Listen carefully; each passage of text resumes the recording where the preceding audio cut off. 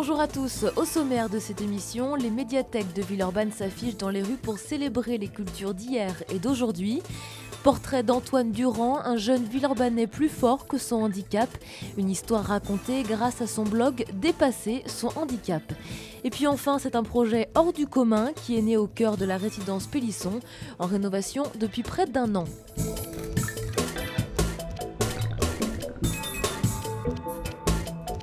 Janis Joplin, Ingrid Bergman ou encore Andy Warhol, ils sont les ambassadeurs de l'innovation des services et de la richesse culturelle des médiathèques de Villeurbanne, soit près de 185 000 livres ou encore 70 000 CD. On a choisi de porter un nouveau regard sur les médiathèques en utilisant des objectifs euh, que généralement personne n'attribue aux médiathèques, geek, romantique, euh, pop, euh, révolutionnaire, surréaliste. L'idée de porter un nouveau regard sur les médiathèques qui se sont complètement modernisés depuis une dizaine d'années euh, autour des nouvelles technologies, autour euh, d'Internet, autour euh, d'une qualité de programmation en matière d'événements culturels, concerts, expositions, lectures pour enfants, rencontres d'artistes, spectacles, la fête du livre jeunesse par exemple, que tout le monde connaît sur Villeurbanne. Résultat, avec 30% d'activité en plus depuis 2007, les médiathèques ont des atouts qui plaisent aux Villeurbanais. Déjà, elles sont pas chères, gratuites pour les moins de 26 ans, 10 euros pour tous les Villeurbanais, euh, gratuit si euh, vous pouvez bénéficier des tarifs réduits.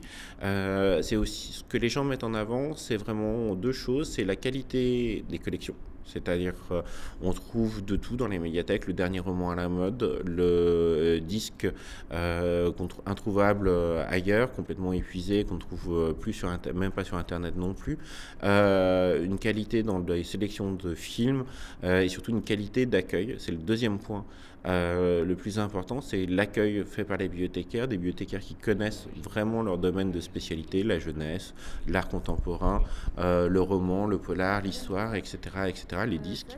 Euh, c'est des choix qui ont été faits et qui font que les, euh, les lecteurs apprécient énormément le contact avec les bibliothécaires. C'est un public euh, aussi d'habitués, en fait, des gens qui sont habitués des médiathèques, qui viennent là depuis longtemps. Donc on a une relation euh, qui se noue avec, avec les usagers au fil du temps aussi. Et puis on accorde un soin particulier aussi aux nouveaux, aux nouveaux venus. Le réseau des médiathèques est composé de la Maison du Livre, de l'Image et du Son, de la médiathèque du Tonkin, du Riz et des bibliobus.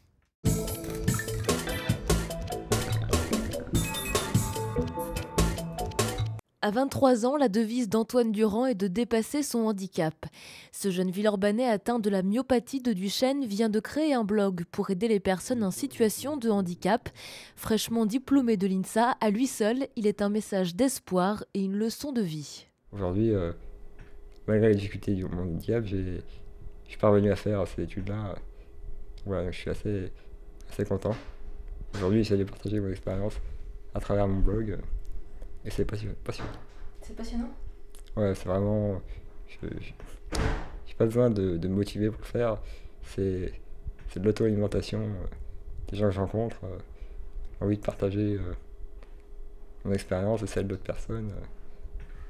Voilà, c'est un projet qui me passionne et que j'espère pouvoir développer. Son blog, il l'a voulu positif et plein d'astuces de vie quotidienne, une sorte de communauté d'entraide pour s'encourager mutuellement. Puis il y a quelques conseils, par exemple, le fait de persévérer, c'est vraiment une clé qui peut permettre de donner des résultats dans n'importe quel domaine, que ce soit au point de vue professionnel, euh, au point de vue relationnel, euh, dans tous les domaines de sa vie. Puis aussi, il y a beaucoup de choses. Je partage des trucs et astuces euh, pour dépasser les difficultés du handicap, des outils concrets, par exemple, des outils technologiques qui vont permettre de dépasser les difficultés. Par exemple, si on a du mal à écrire, des outils très bien de reconnaissance vocale qui font des gros progrès qui peut permettre d'être plus efficace que la plupart des gens qui écrivent, tout simplement en dictant. Donc c'est un outil parmi tant d'autres qui existent. Voilà, parce qu'il y a beaucoup d'outils qui existent, mais que tout le monde ne connaît pas forcément, qui pourtant peut vendre des grands services. Donc c'est un peu, peu l'idée du site aussi de partager tout plein de conseils, de trucs et astuces, alors qui proviennent à la fois de mon expérience et de celle d'autres personnes que je côtoie à travers ce blog. Le blog d'Antoine est à retrouver sur internet à l'adresse suivante www.dépasser-son-handicap.fr.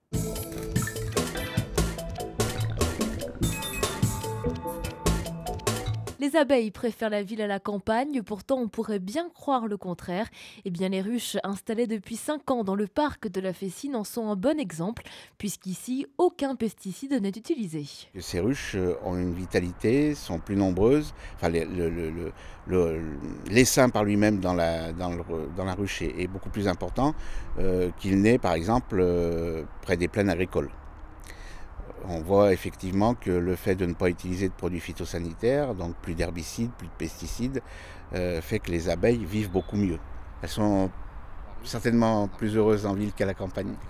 Il y a une, euh, diversité, une biodiversité de plantes euh, que nous n'avons plus obligatoirement à la campagne à cause de la monoculture où on va faire que du maïs ou que du colza ou que du blé.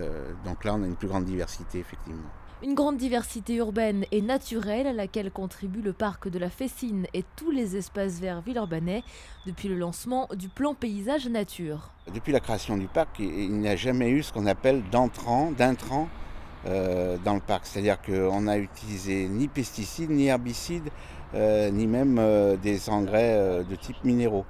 le parc s'autosuffit à lui-même. On n'a absolument, pas besoin de, d'avoir d'aide euh, chimique à côté.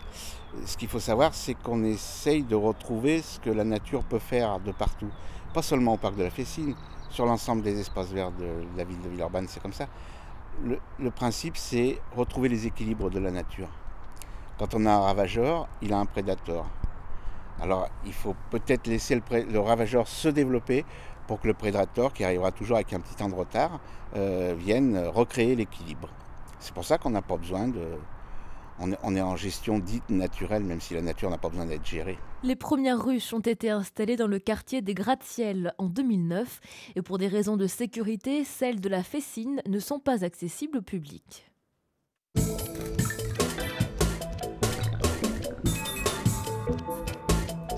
d'être là et puis il y a des gens qui vont arriver petit à petit et de tout âge. Euh,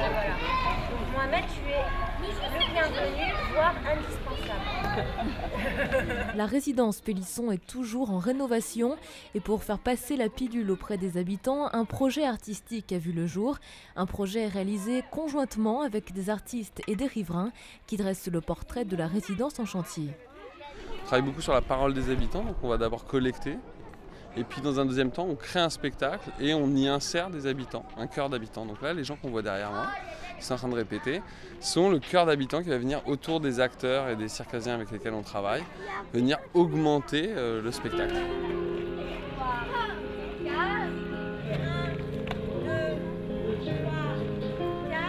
Alors nous, on dit toujours, on parle sur un chantier, mais un chantier de parole. Donc euh, on vient et on met avec nos outils artistiques euh, la parole en jeu, la parole des habitants, et donc on la met en chantier. Après, on parle bah, bien sûr d'un chantier parce que ça, fait partie du cadre, mais on parle surtout de la vie des gens, de la vie des gens maintenant, avant, de la vie des gens qui, ont envie d'envisager pour l'avenir. Pour moi, c'est beaucoup plus là qu'il se joue le chantier en réalité que, que dans le fait de ravaler les façades. Avec seulement 4 mois de préparation et de médiation, le projet a vu le jour en mars dernier. Des ateliers sont proposés aux résidents, il y en a pour tous les goûts. Le projet vraiment est assez important et large en termes d'ateliers. On a des ateliers très manuels, euh, tout simplement par exemple euh, sur des draps, on a fait faire du crochet par les habitantes euh, avec de la laine rouge et elles ont cousu et collé des phrases d'habitants sur les draps, etc. Ça peut être très manuel et à la fois ça peut être aussi comme il est en train de se passer la création du spectacle vraiment. Où du coup là c'est de la chorégraphie, c'est des tableaux théâtraux, etc. Je prends mon drap et je fais ce que je veux avec, mais je dois faire une statue. Alors je peux par exemple faire comme si c'était un drap de bain, Au-delà du résultat, c'est tout un processus humain en fait qui est en jeu quoi. Et ça s'est plutôt bien passé pour l'instant. Euh, il y a énormément d'habitants qui ont participé depuis le début. Alors tout le monde ne veut pas participer au spectacle. Il y en a qui préfèrent faire que un atelier mannequin par exemple. Voilà. Chacun y trouve un peu son compte et ceux qui sont les plus timides ne sont évidemment pas obligés de venir. On a tendance à utiliser, nous le collectif, ce mot-là, extraordinaire. En fait, c'est une résidence comme les autres, elle est ordinaire, mais il y a un côté assez euh, sensationnel au niveau du, lien qui se crée, notamment au travers du projet. Euh, on se rend compte qu'il y a des gens qui se connaissaient pas trop, qui commencent à discuter entre eux. il y a quelque chose comme ça quoi, qui commence à prendre. C'est un peu la magie de l'art en fait, d'amener quelque chose de nouveau, de faire une activité, de faire du lien social entre les gens. Et les gens sont extrêmement généreux ici. On est accueillis c'est comme si on partait dans un pays étranger et à l'instar d'un Antoine de Maximi, on ouvre notre porte, euh, sa porte et ça fonctionne bien. Et ça fonctionne puisque le spectacle de la résidence sera présenté dans le cadre des invites de Villeurbanne le 19 juin prochain. Le parc de la Fessine se transforme en espace de loisirs et de découvertes. Une vingtaine d'associations proposent des ateliers sur le thème consommer durable. Les bons plans sont une parenthèse nature et festive organisée par la ville le 30 mai de 14h à 19h. Dans le cadre des Assises internationales du roman, la médiathèque du RIS reçoit Eric Orsena, un romancier et académicien français connu pour son attachement au voyage, à la mer et à la musique. Il est donc reçu au RIS le 29 mai à 13h30, gratuit mais sur réservation au 04 37 57 17 17. Et puis du 17 au 20 juin, c'est la 14e édition des Invites de Villeurbanne. Quatre jours de fêtes, de spectacles et de musique dans une ville transformée par les artistes et les habitants. Un festival toujours sans billetterie où tous les spectacles sont gratuits. Toute la programmation sur www.vite.villeurbanne.fr. C'est la fin de cette émission. Prochain rendez-vous de Villeurbanne Toute Image le 22 juin.